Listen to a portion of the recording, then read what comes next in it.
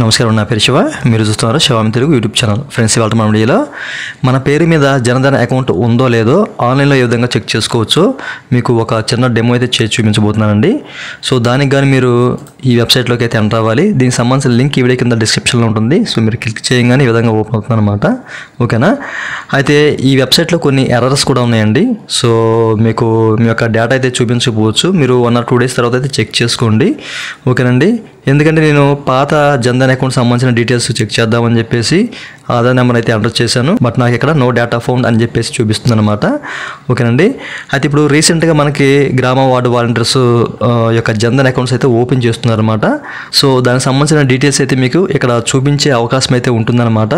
So కొత్తగా ఎవరైతే Jan Dhan accounts open చేస్తున్నారో సో అట్లాంటి డేటా అంతా మీకు ఇక్కడ చూపించే అవకాశం అయితే ఉంటుందన్నమాట.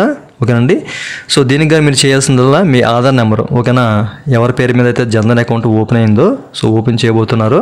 సో వాళ్ళ యొక్క ఆధార్ నెంబర్ అయితే ఇక్కడ ఎంటర్ చేయాలన్నమాట. మీ పేరు మీద జన్ధన్ అకౌంట్ కనుక ఓపెన్ అయినట్లయితే సో దానికి సంబంధించిన డీటెయిల్స్ అంతా కూడా ఇక్కడ చూపిస్తుంది అనమాట ఓకేనా?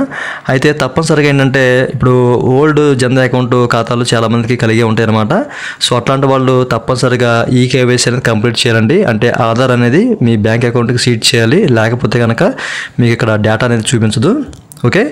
సో ఎవరైతే హోల్డర్ ఉన్నారో వాళ్ళ యొక్క ఆధార్ నెంబర్ ఇక్కడ ఎంటర్ చేయండి. ఎంటర్ చేసి మీరు సబ్మిట్ అనే బటన్ క్లిక్ చేస్తే మీకు మీ యొక్క డీటెయిల్స్ అనేవి కనిపించే అవకాశం అయితే ఉంటుందన్నమాట. ఫర్ ఎగ్జాంపుల్ నేను ఒక ఆధార్ నెంబర్ అయితే ఎంటర్ చేస్తానండి. అంటే అది జన్ధన్ అకౌంట్ కలిగి ఉంది. బట్ ఏంటంటే నాకు నో డేటా ఫోన్ అని అయితే చూపించింది. సో వన్స్ నేను చెక్ చేసి చూపిస్తాను మీకు. ఈ విధంగా ఆధార్ నెంబర్ ఎంటర్ చేసిన తర్వాత సబ్మిట్ అనే బటన్ క్లిక్ చేసినట్లయితే ఇక చూడండి నో డేటా ఫౌండ్ అని చూపించింది అనమాట ఓకేనా?